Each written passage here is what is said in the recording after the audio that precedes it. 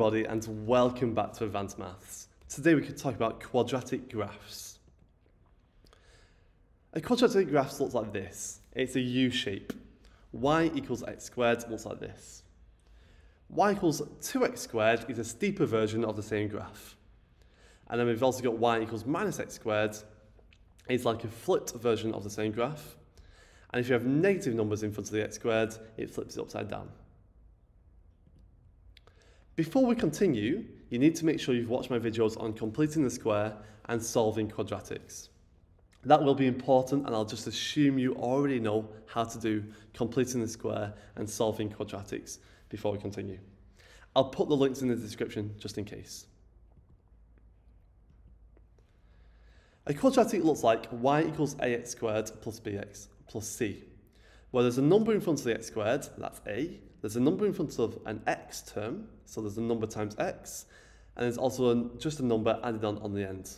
We call those numbers a, b, and c like that, and that is a general form of a quadratic equation. The y-intercept of a quadratic equation is given by the number added on the, on the end of the quadratic. So here it's plus c, uh, which is plus 8, because this quadratic crosses at 8. The roots of the quadratic are the y-x-intercepts. So the name for x-intercepts is specifically roots. And we find the roots of a quadratic either by factorising and solving, or by using the quadratic equation to find when the quadratic form quadratic is equal to zero. The vertex of a quadratic, this is where it's a minimum or a maximum. Uh, this is uh, found by completing the square. So again, you need to make sure you're perfect with completing the square before we continue. And then the final thing we can work out is the line of symmetry.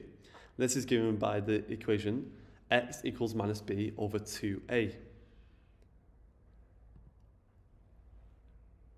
Okay, so example one, we're going to sketch the graph of y equals x squared plus 4x plus 3. To start with the equation, I'm going to note that the number on the end is plus 3. Therefore, the y-intercept of this quadratic is plus 3, and it will cross at 0 across 3 up, there.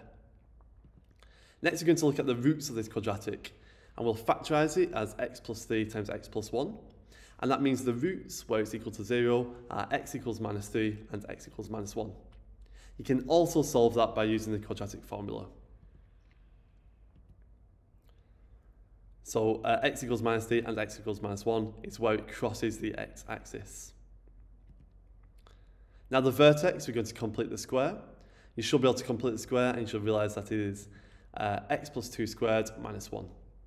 Therefore, the vertex is minus 2 minus 1. Just remember, it's the opposite of a number in the bracket. So inside the bracket says plus 2, therefore the x coordinate is minus 2.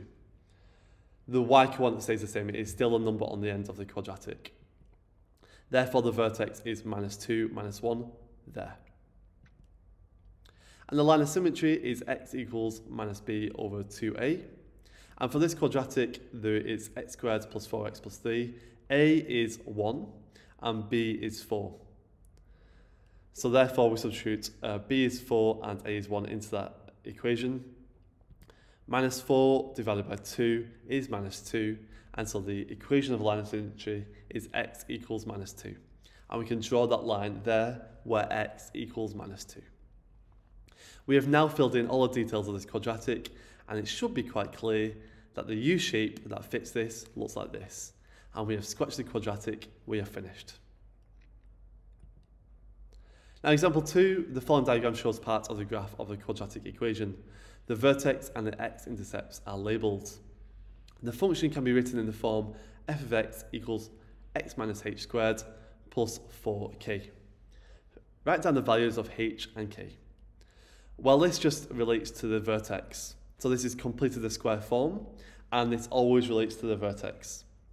And so the numbers are uh, x minus 2 squared minus 9, because that comes from the coordinates of the vertex. So h equals 2 and k equals minus 9. That's a super simple answer, far simpler than it looks. The function f can be written in the form f of x equals x plus p, x minus q. Find the values of p and q. So this relates to the uh, x-intercepts or the roots of the quadratic. When it's in factorized form, uh, the uh, numbers inside the brackets are the opposite of the roots. So there's the roots is minus 1, that means one of the brackets is going to be plus 1. And the other root is plus 5, that means the inside the brackets will be minus 5. Okay, so we've got f of x uh, plus 1, f of x minus 5. We found that uh, p is uh, plus 1 and q is uh, minus 5. Finally, it asks us to find the y-intercept of the graph of f. And we're going to expand the brackets first. X squared plus x minus 5x minus 5. We simplify it as x squared minus 4x minus 1, 5. So we've expanded the brackets successfully and made it into a normal quadratic equation. The number on the end is minus 5, and that means the y-intercept is minus 5. We are finished. We have found everything this question asks us to do. Finally, I've got example 3 here. f of x equals a times x minus 1 uh, times x plus 7. The diagram shows a sketch of the graph. Find the coordinates of the roots of f of x. Okay, this is super simple. We look at the brackets, and the opposite of the brackets are x equals 1 and x equals minus 7. So therefore the roots are minus 7, 0 and 1, 0. Those are the x-intercepts or the roots of this uh, quadratic equation. Now find the value of a.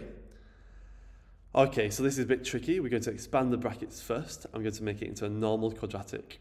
So it's a x squared plus 6x minus 7. I'm going to expand the a now, and we get ax squared plus 6ax minus 7a. And now we can use the fact that the number on the end is the y-intercept. So minus 7a is equal to 14. We can make those two things equal to each other. So minus 7a equals 14. We divide by minus 7 and we get a equals minus 2. The uh, a, the value of a is minus 2. And just look how we did that. We started by with the e equation it gave us. We expanded the brackets and we expanded the brackets again. And then we just compared the number on the end, the plus c, with the y-intercept. And we found that minus 7a is equal to 14, therefore a is minus 2. Now finally, we're going to find the uh, coordinates of the vertex. I'm going to start with this version of the quadratic, and we're going to complete the square for this. So minus 2 times x squared plus 6x minus 7. I'm going to complete the square. You should know how to do this already, so I'm just going to go super quick here. This is completed in the square form, and therefore the coordinates of the vertex are minus 3 uh, and 32. So the vertex is minus 3, 32. Just notice that this is an upside down quadratic, it's an N shape, not a U shape, and that is why A is a negative 2. Because the number in front of the x squared is negative. Okay, so I've shown you three examples there. It's now time for you to try an example yourself. So you're going to complete the table and sketch the curve uh, for the equation y equals x squared minus 6x plus 5. You can pause the video now and do this in your own time. This shouldn't take you about five minutes. So uh, do it yourself. And when you're ready, I'll reveal the answers in three, two, one. That's what the equation looks like. And we draw a nice smooth sketch as well. Did you get it correct? Let me know how well you did in the comments below. Thanks for watching. Remember to like and subscribe so you don't miss any future videos from Addvance Maths. And also check out our website addvancemaths.com. Thanks for watching and good luck in your exams.